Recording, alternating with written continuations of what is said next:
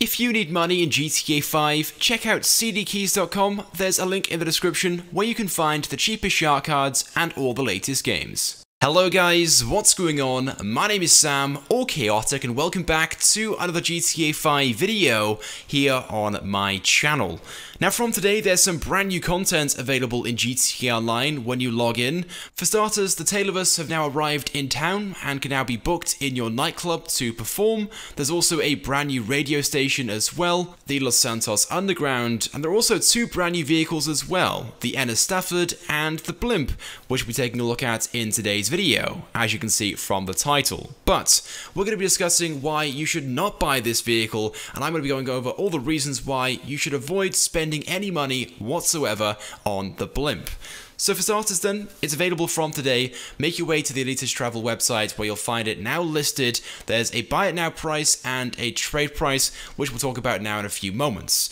But as you can see, you can purchase this blimp in various different liveries. I've already purchased it with the Sprunk Extreme livery, as you just saw a few moments ago. That's my favorite out of all the liveries available. There are a total of eight, and no matter which one you choose, the buy it now and trade price does not change. As you can see, the buy it now price is $1,190,350. The trade price, though, is 895,000, and that I believe can be unlocked after completing completing 10 of the management missions in your nightclub. So it's not too difficult, and if you are going to buy it, then of course I'd recommend doing that. It saves you a few hundred thousand dollars. But personally, it's not worth buying at all, whether you buy it at 900,000 or just over a million dollars, it is just going to be a complete waste of money and one of those items you'll only use once or twice like much of the content the Rockstar have released over the past few years because this thing isn't useful at all. It's only cool when it's new and it will be a complete novelty and I guarantee anyone who buys one of these within just a few weeks probably won't ever use it again, simply because it's not useful whatsoever. It's one of those things you can fly around for a few minutes but this thing is so slow that you'll soon get bored of doing that.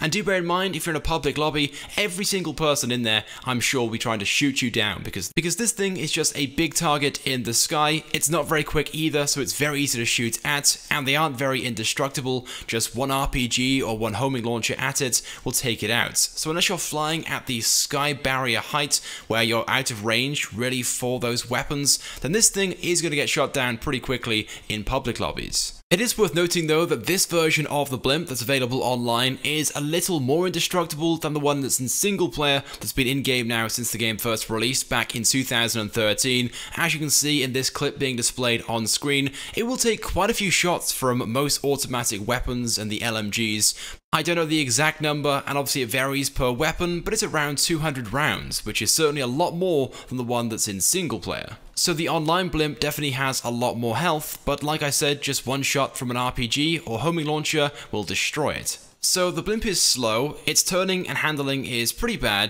it's just a massive target in the sky and it's easily shot down. It's pretty expensive and costs over $1.1 million if you haven't unlocked the trade price, and this vehicle isn't even classified as a personal vehicle. You cannot store it in your hangar if you own one, this is classified as a Pegasus vehicle. Now we haven't received a Pegasus vehicle in GTA Online in quite some time, possibly over two years, and the reason for that is because Rockstar began making the previously unstorable vehicles storable in regular garages or added new properties into the game with each update to store select vehicles. The blimp though cannot be stored in any property and is exclusive to Pegasus, so when you want to use it, you have to call a Pegasus and then drive down to the nearest Pegasus pickup point to then get your blimp. And don't forget there is a Pegasus delivery fee of $200 every time. And because this isn't a personal vehicle, it cannot be customized in any way. So nothing can be upgraded, nothing can be changed, what you buy is what you get.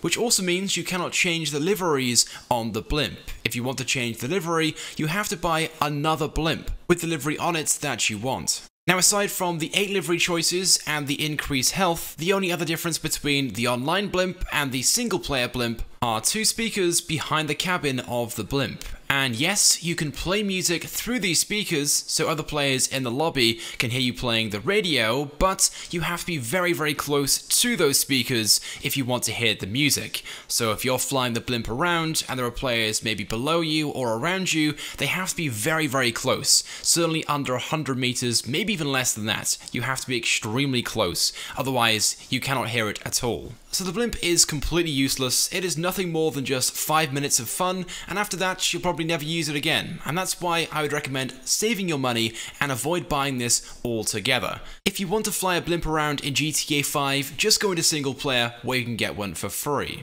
Anyway, so there we go then guys, with that being said then, that's it for this video, but I want to get your thoughts and feelings on the blimp. Do you guys like it? Do you not? Have you bought one yet? Or will you not be buying one? Let me know why, of course, in the comment section. If you guys could also drop a like on this video as well, it helps me out a lot and it's greatly appreciated. And if you haven't subscribed to my channel, make sure you do, because I upload all the latest and the greatest Grand Theft Auto 5 content. So as always guys, thank you very much for watching, and I'll see you guys in the next video.